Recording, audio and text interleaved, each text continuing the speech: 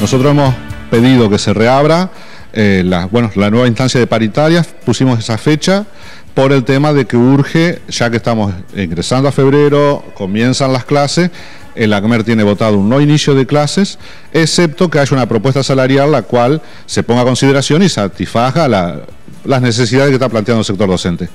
Eh, bueno, estamos esperando la respuesta del gobierno, esperemos que exista la reunión y que en esa reunión no sea una reunión para dilatar absolutamente nada, sino que haya una propuesta salarial con porcentuales, eh, los cuales deben estar dando una recuperación del salario, del poder adquisitivo. Hoy nosotros no vamos a arriesgar ningún porcentual porque el ACMER no lo ha resuelto, pero sí queremos volver a tener un salario que, permita acceder a los, bueno, a los bienes que, debemos acceder cualquier trabajador, que es salud, vivienda, alimento, eh, los elementos didácticos. Eh, estamos expectantes, no ha habido ninguna respuesta hasta, el momento de, de que acepten esta fecha.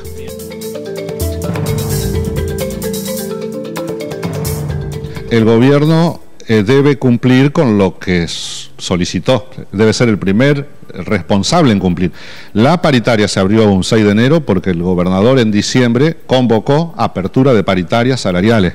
Nosotros hemos participado, después hemos participado en mesas técnicas donde hemos discutido la conformación del salario, es decir, que no, no estamos esperando que esperen un parámetro nacional, estamos esperando cuál es la propuesta salarial que nos va a hacer el gobierno de la provincia de Entre Ríos. Eh, lo que hubo, que fue un bono eh, en negro, que no fue para el conjunto, que no fue universal, que fue discriminatorio para los jubilados, no satisfizo en lo más mínimo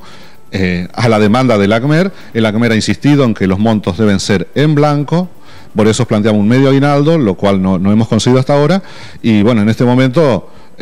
urge que, bueno, que, se ponga a la altura de las circunstancias, entendemos nosotros, el gobierno de la provincia de Entre Ríos esté convocando y que sea en ese ámbito paritario, si no hay una propuesta salarial, entiendo prácticamente fracasa la paritaria salarial en la provincia de Entre Ríos.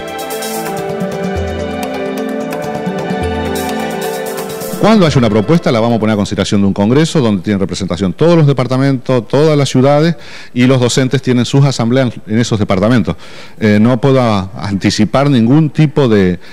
posición que va a tener el ACMER. Eso lo va a resolver un congreso y lo sabe muy bien el gobierno que nosotros vamos a poner a consideración lo que haya que poner a consideración. Si no hay nada para poner a consideración, bueno, estamos comunicando, ratificando de que el ACMER en el último congreso en la ciudad de Gualeguay en diciembre ha resuelto un no inicio del ciclo eh, lectivo escolar 2014.